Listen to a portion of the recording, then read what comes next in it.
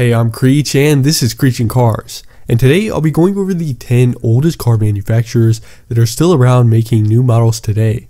I'll go over a brief history of the founding of each company and talk about each's journey to the modern day. On this channel, I talk about car history like this as well as news and culture, so let's get right into today's list starting with the Ford Motor Company, which was founded back in June of 1903, and of course was founded by Henry Ford, who would revolutionize the manufacturing process by using the assembly line. Henry Ford would launch the company with the help of 12 investors, including the Dodge brothers, and things really began to take off when the Model T debuted in 1908. Being one of the first mass-produced cars, Ford was able to make the car incredibly cheap at the time, meaning the automobile began to trickle down to the middle class. The moving assembly line was first put into action in 1913, further lowering costs. Ford has introduced numerous safety innovations over the decades and has been at the forefront of market changes, such as the creation of the Bronco at the dawn of the SUV age. The next company on the list is actually the result of Henry Ford's first attempt at creating an automaker. In August 1902, the Henry Ford Company was established in Detroit, but after disagreements with investors, Henry Ford left the company behind, only taking the rights to his name. The two largest investors called up engineer Henry Leland to appraise the manufacturing plant in preparation to sell it.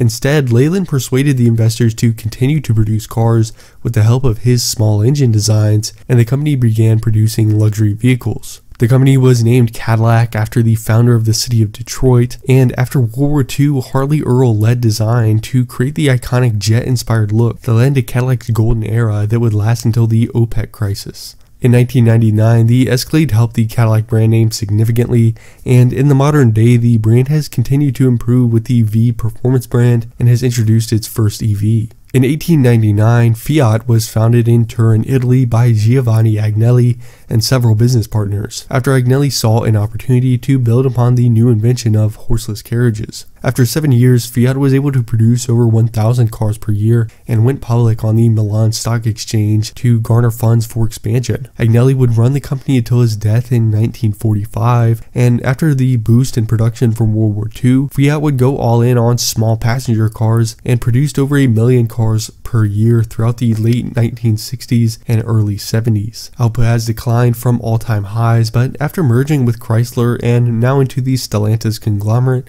the company is growing once again. Also founded in 1899 is Renault, which was created by three French brothers, Louis, Marcel, and Ferdinand Renault. Within the first few years of operation, Renault saw the opportunity presented by taxi cars and was essentially the first company to produce volume car models that were largely for taxi use. This helped establish the brand name, but the brothers also saw racing as an opportunity to become known with other performance brands. From here, Renault has one of the more complicated histories, so in short, it would be crucial in developing tanks for World War I and improving upon its designs for World War II. After World War II, the company would be nationalized, and during its public ownership, the brand experienced a sharp decline as its international growth was limited. Renault wouldn't be privatized until 1996, and after this, the brand would take off with its newfound freedom, and over the past quarter of a century has produced some of the most popular cars in Europe, like the Clio and Captur. The next company is the oldest American car company that is still around. Autocar was founded by Louis Clark as the Pittsburgh Motor Vehicle Company in 1897 although it was renamed Autocar two years later. Clark is responsible for numerous innovations such as the porcelain spark plug and improving drive shafts. These innovations proved especially useful for heavy-duty trucks, and by 1911, Autocar was producing commercial vehicles exclusively. Autocar built numerous models for the Army in World War II, and after the war, the company had grown to 100 dealerships nationwide. In the post-war era, Autocar developed its current business model of creating industry specific models such as garbage trucks and custom models for unique needs. Today, garbage trucks are still a huge part of Autocar's revenue. In 1894, Vaclav Klement set out to start a bicycle company in Bohemia with his partner Vaclav Laurin. By 1898, they finished building a factory and were able to produce and sell their first bicycles and quickly expand into motorcycles. In 1905, they expanded into automobiles, and after experiencing success in both areas, Laurin and Klement would sell the company to arms manufacturer Skoda Works in 1925. The company would struggle for decades during National Socialist and Soviet occupation, and the lack of economic resources and freedom would damage the reputation of the company.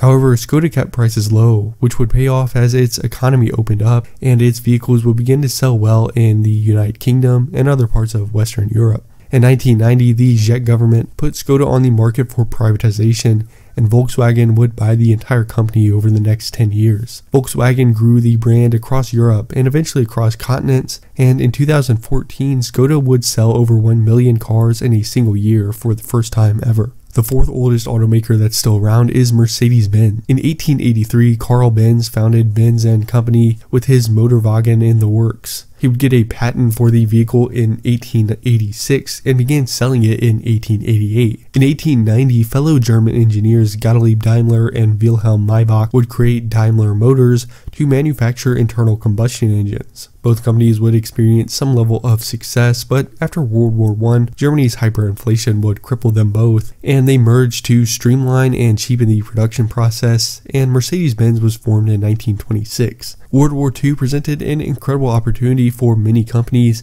and Mercedes would produce tanks, aircraft, and submarines, as well as luxury automobiles. Military and political figures such as Hitler, Goering, Mussolini, and Hirohito would be seen in a Mercedes Benz, and even after the Axis' defeat, Mercedes was able to catapult off of official use to sell the high end cars. The brand exploded after Max Hoffman identified post-war United States as a prime market for European luxury cars. In the 1990s, Mercedes developed its performance reputation by working with and eventually acquiring tuning company AMG, and in 2016 the brand introduced EQ as its fully electric sub-brand. In 1862, Adam Opel would create Opel to manufacture sewing machines in Rüsselsheim, Germany. After 24 years of producing sewing machines, Adam wanted to expand into the growing market for bicycles. Adam Opel successfully ran the company until his death in 1895, and after his death, his family worked with Frederick Lutzmann, who had been designing cars,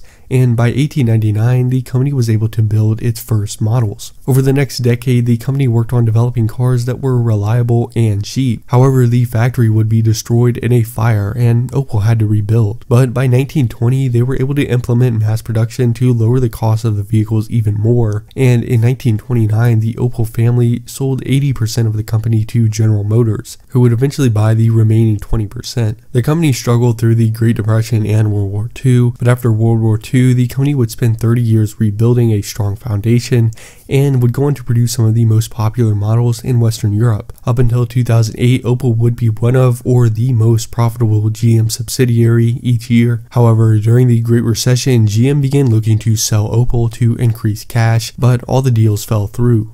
GM would hold on to Opel until 2017 when it would be sold to Peugeot. The second oldest car company that's still around is Tatra, which was founded in 1850 as a carriage company by Ignaz Šustala in Kopervin, Czech Republic. Šustala died in 1891 and the company was passed on to Hugo von Roeslerstamm, who expanded the company into railroad cars. Hugo would purchase a Benz automobile in 1897 and was inspired to get in on the growing automobile industry. Tatra would design passenger cars and be the first company to focus on aerodynamic. After German occupation, Ferdinand Porsche would copy many aspects of the Tatra 97 to create the Beetle, and Volkswagen would have to settle with Tatra 30 years later for stealing the design. After World War II, the Soviet controlled state would take over Skoda and Tatra and force Skoda to focus on passenger cars and Tatra to focus on commercial trucks, although Tatra would produce some car models through the 1990s. Today, the company focuses on custom equipped and custom built commercial vehicles.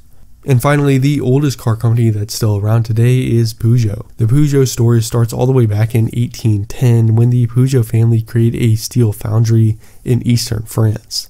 The company grew into other manufacturing areas, and in 1880, Armand Peugeot decided to get into the bicycle industry. In 1889, the company designed a three-wheeled steam-powered car, but only produced four models. In 1890, Gottlieb Daimler sold Peugeot on the internal combustion engine, and the company was producing hundreds of cars by 1900. Peugeot grew production and became a notable force in racing as well. In the 70s and 80s, Peugeot bought Citroën and the European branch of Chrysler, developing the foundation of the relationship that would create Stellantis today. So there are the 10 oldest automakers that are still around today.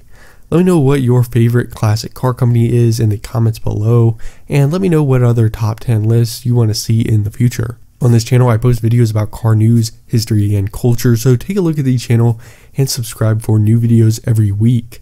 Thanks for watching, and I'll see you next time.